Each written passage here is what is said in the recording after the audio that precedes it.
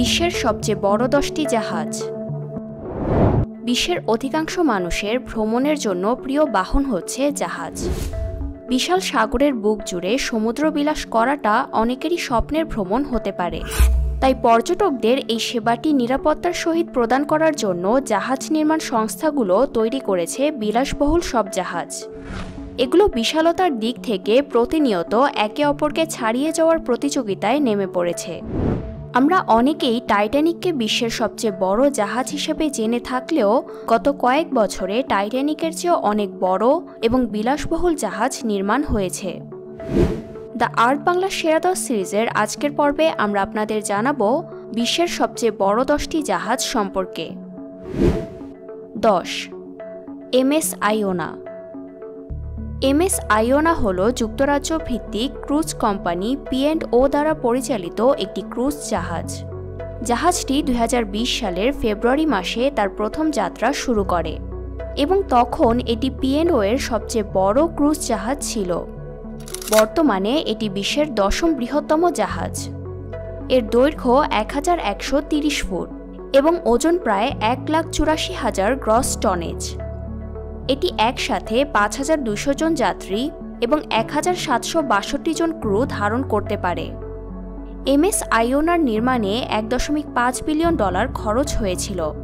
আইওনা বেশ কয়েকটি ক্রিসমাস ক্রুজে অংশগ্রহণ করে, যা সাধারণত নভেম্বর থেকে জানুয়ারি পর্যন্ত চলে। নয়, কোস্টা তোস্কানা। কোস্টা তোস্কানা হল একটি ইতালিয়ান মালিকানাধীন ক্রুজ জাহাজ। যা কোস্টা ক্রুজ লাইন কোম্পানি দ্বারা পরিচালিত হয়। এটি কোস্টা স্মারালদার পরে কোস্টা ক্রুজের দ্বিতীয় বৃহত্তম জাহাজ। এর দৈর্ঘ্য এক হাজার একশো ছয় ফুট এবং ওজন প্রায় এক লাখ পঁচাশি হাজার গ্রস টনেজ, যা বর্তমানে বিশ্বের নবম বৃহত্তম জাহাজ। দুই হাজার একুশ সালে প্রথম বাণিজ্যিকভাবে সেবা প্রদান শুরু করে এই জাহাজটি। জাহাজটিতে সর্বোচ্চ পাঁচ হাজার দুইশো চব্বিশ জন যাত্রী এবং এক হাজার ছয়শো আটাত্তর জন ক্রু ধারণ করতে পারে। এর নির্মাণ খরচ ছিল প্রায় নয়শো পঞ্চাশ মিলিয়ন মার্কিন ডলার। জাহাজটি ভূমধ্য সাগর, উত্তর ইউরোপ, উত্তর আমেরিকা এবং ক্যারিবিয়ান দ্বীপপুঞ্জে ভ্রমণ করে। আট। কোস্টা স্মারালদা। কোস্টা স্মারালদা হল কোস্টা ক্রুজ লাইনের সবচেয়ে বড় এবং বিশ্বের অষ্টম বৃহত্তম জাহাজ। দুই হাজার উনিশ সালে প্রথম বাণিজ্যিক সেবা প্রদান শুরু করে এই জাহাজটি।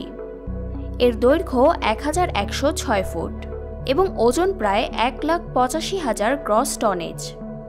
জাহাজটিতে সর্বোচ্চ ছয় হাজার পাঁচশো চুয়ান্ন জন যাত্রী এবং এক হাজার ছয়শো ছেচল্লিশ জন ক্রু ধারণ করতে পারে।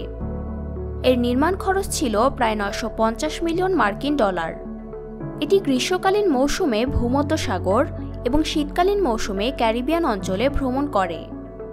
জাহাজটি ইউরোপ, উত্তর আফ্রিকা, মধ্যপ্রাচ্য এবং উত্তর আমেরিকা সহ বিশ্বের বিভিন্ন গন্তব্যে ভ্রমণ করে। সাত, এমএস আরভিয়া। এমএস আরভিয়া হল একটি ব্রিটিশ মালিকানাধীন ক্রুজ জাহাজ, যা পিএন্ডো ক্রুজ কোম্পানি দ্বারা পরিচালিত হয়। এটি জার্মানির পাপেনবার্গের মেয়ার বেরফোর্ড দ্বারা নির্মিত হয়েছিল এবং এটি যুক্তরাজ্যের ক্রুজ বাজারে নির্মিত সবচেয়ে বড় এবং উন্নত জাহাজ। জাহাজটি দুই হাজার বাইশ সালের ডিসেম্বর মাসে তার প্রথম যাত্রা শুরু করে।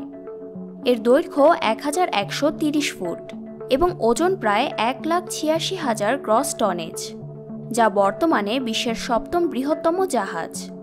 জাহাজটিতে সর্বোচ্চ পাঁচ হাজার দুইশো জন যাত্রী এবং এক হাজার আটশো জন ক্রু ধারণ করতে পারে। এর নির্মাণ খরচ ছিল প্রায় এক বিলিয়ন মার্কিন ডলার। এটি যুক্তরাজ্য, ইউরোপ, উত্তর আমেরিকা এবং ক্যারিবিয়ান দ্বীপপুঞ্জের গন্তব্যগুলোতে ভ্রমণ করে।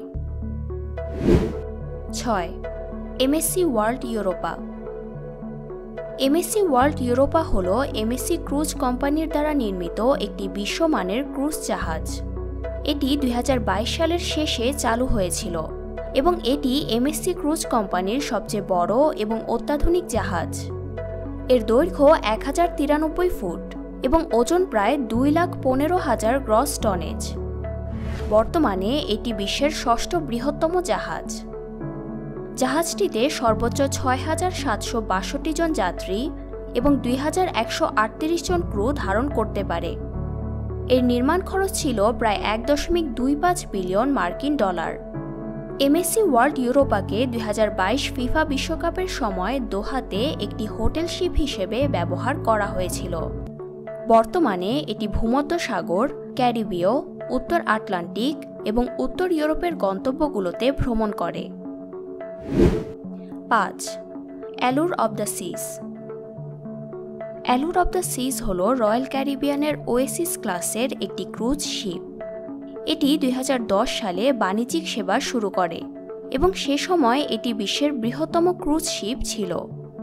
দুই হাজার ষোলো সালে হারমোনি অব দ্য সিসের কাছে এটি এর অবস্থান হারায় এবং বর্তমানে এই জাহাজটি বিশ্বের পঞ্চম বৃহত্তম জাহাজ। এর দৈর্ঘ্য এক হাজার একশো সাতাশি ফুট এবং ওজন প্রায় দুই লাখ পঁচিশ হাজার গ্রস টনেজ। এটি একসাথে ছয় হাজার সাতশো আশি জন যাত্রী এবং দুই হাজার দুশো জন ক্রু ধারণ করতে পারে। অ্যালুর অব দ্য সিজের নির্মাণ কাজে খরচ হয়েছিল এক দশমিক চার বিলিয়ন মার্কিন ডলার। বর্তমানে এই ক্রুজ ইউরোপ, আমেরিকা এবং ক্যারিবিয়ান অঞ্চলে ভ্রমণ করে। চার, Oasis of the Seas. Oasis of the Seas হল রয়্যাল ক্যারিবিয়ান ইন্টারন্যাশনাল মালিকানাধীন একটি ক্রুজ জাহাজ। এটি বিশ্বের চতুর্থ বৃহত্তম এবং বিলাসবহুল একটি ক্রুজ জাহাজ। এই জাহাজটি বাইশ তলা বিশিষ্ট এবং এতে ষোলোটি ডেক রয়েছে। এর দৈর্ঘ্য এক হাজার একশো একাশি ফুট এবং ওজন প্রায় দুই লাখ ছাব্বিশ হাজার gross tonnage.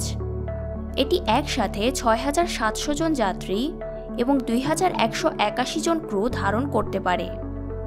Oasis of the সিসের নির্মাণে এক দশমিক পাঁচ বিলিয়ন মার্কিন ডলার খরচ হয়েছিল এবং জাহাজটি দুই হাজার নয় সালের ডিসেম্বরে চালু হয়েছিল।